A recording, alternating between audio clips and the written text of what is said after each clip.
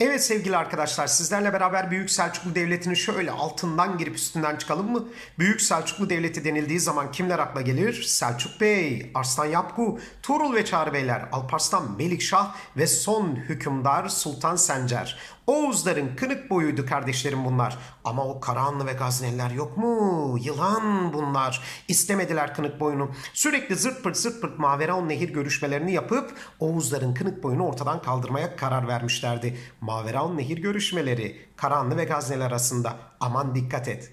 Tabi Turul ve Çağrı Beyler döneminde çok önemli noktalar vardı. Hele o Dandanakan Savaşı, Gaznelileri kardeşlerim yıkılış sürecine sürükledikleri savaş.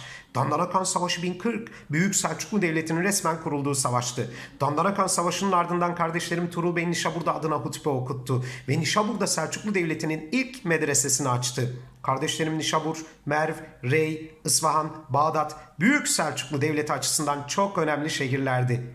Kardeşlerim Tuğrul Bey mi Çağrı Bey mi diye sorsan Anadolu'ya ilk keşif akınlarını düzenleyen Çağrı Bey'di. Hatta Bizans'ta ilk karşılaşma Şehzade Hasan'ın şehit edildiği Büyük Zapsuyuk karşılaşması olarak tarihe geçmişti.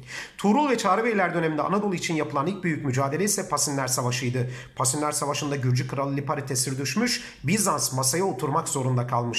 Tuğrul Bey Bizans'tan bir istekte bulundu. İstanbul'daki Arap Camii'nde adına hutbe okutulacak ve halife adına da hutbe okutulacak ve ok ve yayı minbere asılmasını istemişti. Kabul etti Bizans bunları.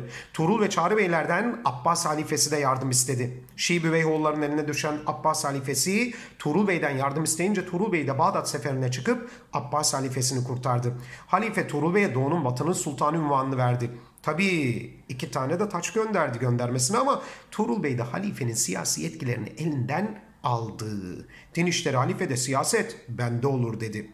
Kardeşlerim Turul ve Çağrı Beylerden sonra Sultan Alparslan geçti başa. Sultan Alparslan onun döneminde hacelik, vezirlik makamında Nizamül Mülk vardı.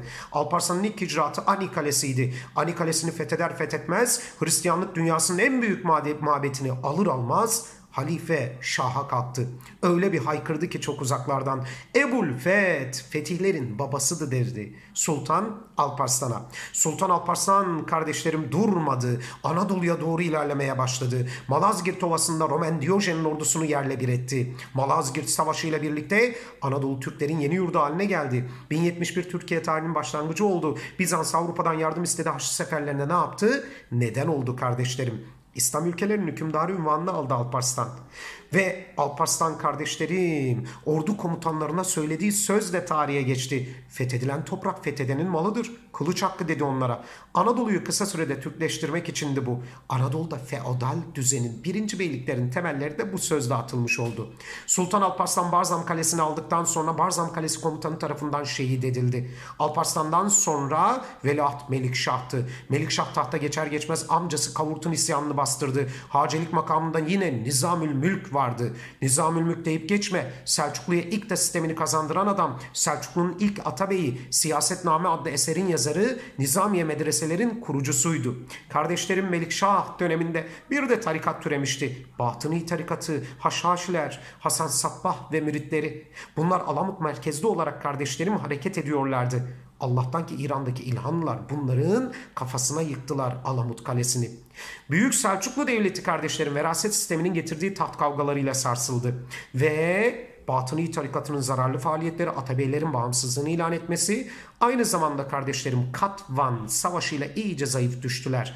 Oğuz ayaklanmalarıyla paramparça oldular. Salgurlular, İldenizoğulları, Zengiler, Bektekinoğulları, Börüller gibi Atabeylikler ortaya çıktı. Birçok da Selçuklu Devleti kuruldu. Büyük Selçuklu Devleti'nin kısa özeti buydu.